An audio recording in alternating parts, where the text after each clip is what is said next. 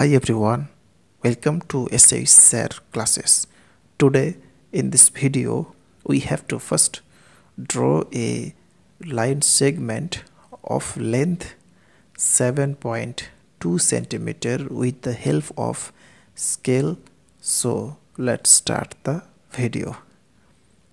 First of all with the help of scale so first we have to putting the scale here with perfect and now first measuring 7.2 centimeter. So this is starting 0 so first marking 0 here then counting.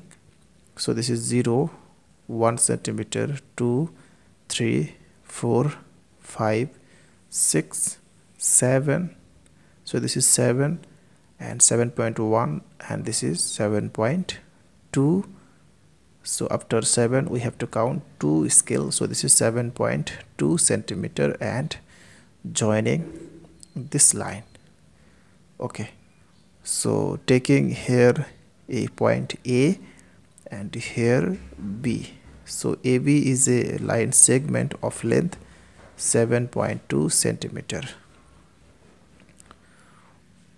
So therefore here we can say that AB is a line segment of length 7.2 centimeter and with the help of scale you can draw this line by this way.